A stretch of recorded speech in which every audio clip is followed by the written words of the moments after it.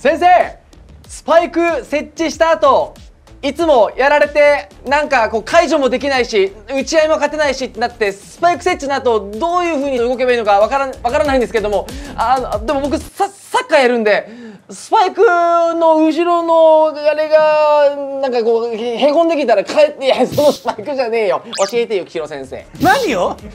何を教えればいいの？分かんなくなってえっと 靴のスパイクの話ではなくえっとバロラントのせこっちのスパイクですね。そうです。あーわかりました。こっちのスパイクは俺分かってるんで。あーバロラントのスパイクこっちのスパイクあこっちだったら教えられます。なんとかよかった。よろしくお願いします。じゃあお教えします、はい。伝わったよ。まあ、ディフェンダーサイドの話ですね、まずはスパイクを設置された後、い、わゆるリテイクっていう言い方をするんですけど、取り返すっていうところが難しいっていうところですよね。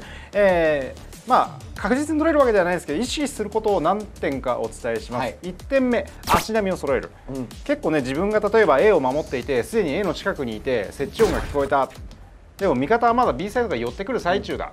っていう時に自分が勝負しに行っちゃったりする。これは結構危ないです、えー前にも話したと思うんですけど設置中は基本的にカバーがいます。設置を守る人が相手にいると思ってください。そこで一人で飛び出したらどうなるか。もし勝ったとしてもやられてしまいますよね、そうすると足並みが揃わない。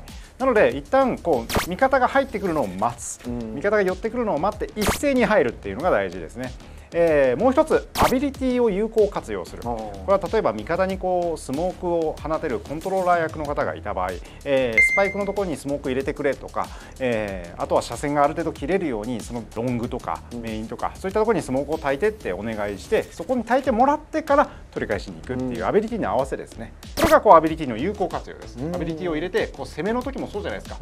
アビリティを組み合わせてエントリーするじゃないですか。取り返しも一緒なんですよ。っていうところをやる。でもう一つだけあります、えー相手にキルジョイとかアストラとか、アルティメットが上がっているブリムストーンとかいる時、あとはアルティメットが上がっているブリーチ、そういったローリングサンダーとかアルティメットやアビリティでこう解除を止めれるエージェントがいる時にどうしなきゃいけないかって。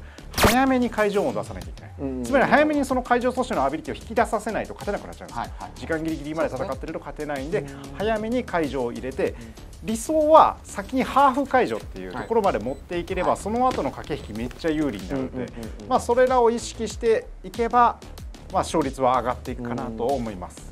ありがとうございます、話を聞いてどう？のぶちゃん。ちょっと聞いてくれっち。この中に外部から潜り込んだやつがいるらしいっち。ただ安心してくれっち。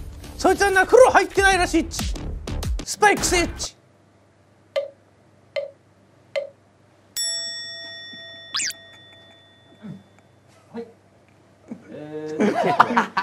スパイが臭いね。スパイクせえ次からちょいギャグ禁止で。次はのぼうさんがむしろもうなんでだいうよやつですよね。これだって7番目ってこれのぼうさんのやつですよ台本上。本当だ。俺が言うんだ。ちょいギャグじゃあ手をねやったらどうですか？最後。出すとかなるよ。ちょいじゃねえんだよ。全然。これ下ネタなんですよ。ちょいギャグでいいんです。これちょいギャグでいいです ゴリ下なんですよ。ゴリ下ゴリ下確かに。ちょっとどころの騒ぎではない。